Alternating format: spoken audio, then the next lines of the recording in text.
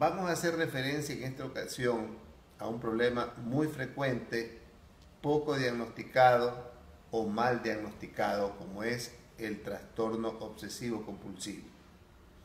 Y su diferenciación con lo que es la personalidad con rasgos obsesivos.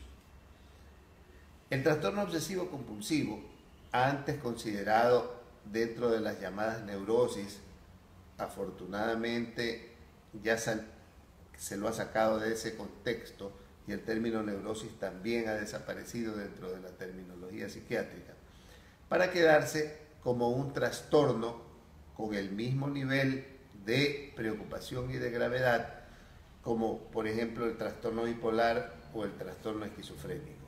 El trastorno obsesivo compulsivo es un trastorno realmente eh, frecuente, mal diagnosticado o poco diagnosticado. ¿Qué quiere decir eso? Muchas veces se lo confunde con otro tipo de patologías como por ejemplo la esquizofrenia. Y ya vamos a ver por qué. Y en otras ocasiones pasa desapercibido como un problema simplemente de conducta. El trastorno obsesivo compulsivo se caracteriza por la presencia de ideas intrusas en la mente del paciente que lo atormentan y que las experimenta a despecho de su voluntad. Es decir, por más que él quiere sacárselas de la cabeza, no puede sacárselas. Y eso origina como una especie de defensa, una serie de rituales de diversa naturaleza como para tratar de paliar las ideas obsesivas. Por ejemplo, si la persona se siente atormentada por la idea de que está sucio o contaminado, recurre a lavarse o a limpiarse por muchas ocasiones, lo que constituye a la larga lo que se llama un ritual de limpieza.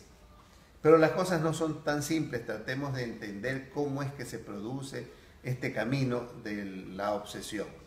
El núcleo del trastorno obsesivo compulsivo es la ansiedad o la angustia. Esta ansiedad o angustia genera en el paciente o en el individuo en general algo que yo llamo como moverle el piso. Le mueve el piso y le produce al paciente inseguridad. La inseguridad lo lleva a la duda y la duda es la que atormenta al paciente y se convierte en, en ideas obsesivas.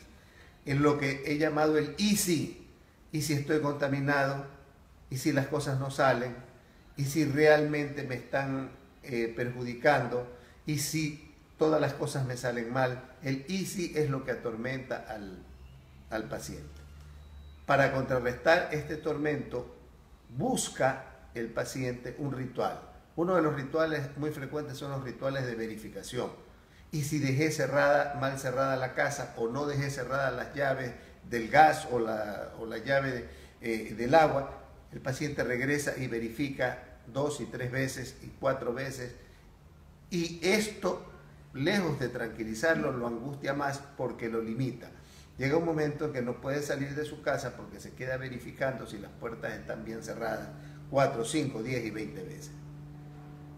La verificación o los rituales, como los lavados de manos, como los rituales de hacer oraciones para eh, combatir las ideas pecaminosas que se le vienen a la cabeza, etcétera, buscan tranquilizar, pero no tranquilizan al paciente y al no tranquilizarlo le generan más angustia, cerrándose así el círculo de angustia por muchas y muchas y muchas ocasiones.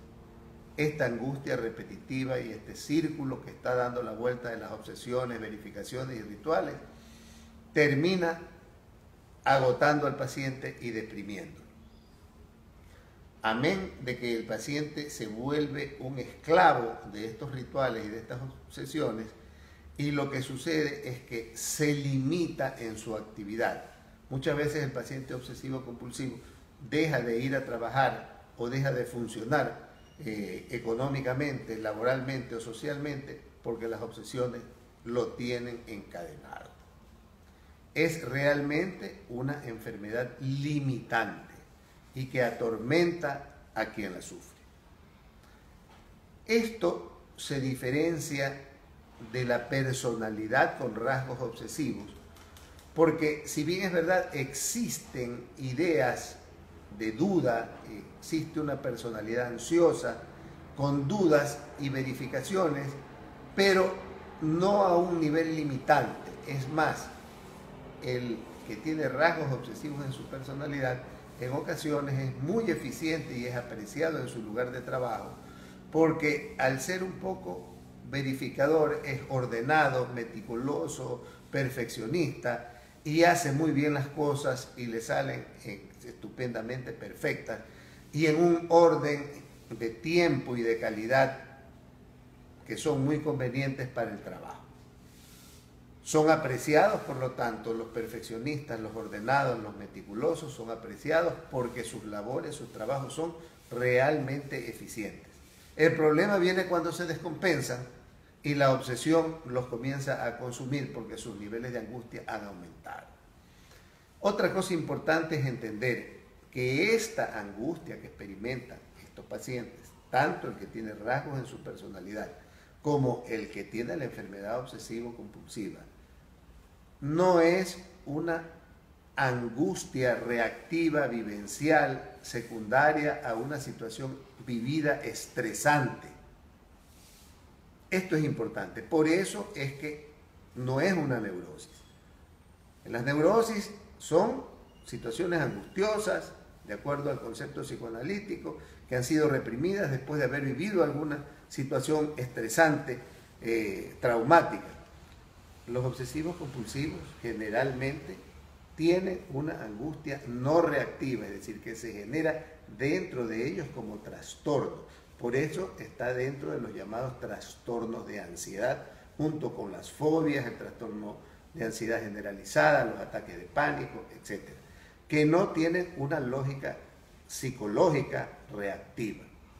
Y por eso, dentro de su terapia, debe de ser enfocada básicamente con un aspecto psicofarmacológico, con los llamados inhibidores de la recaptación de la, de la serotonina, y desde el punto de vista psicológico, con la psicoterapia cognitivo-conductual, que da, en combinación con la terapia farmacológica, excelentes resultados.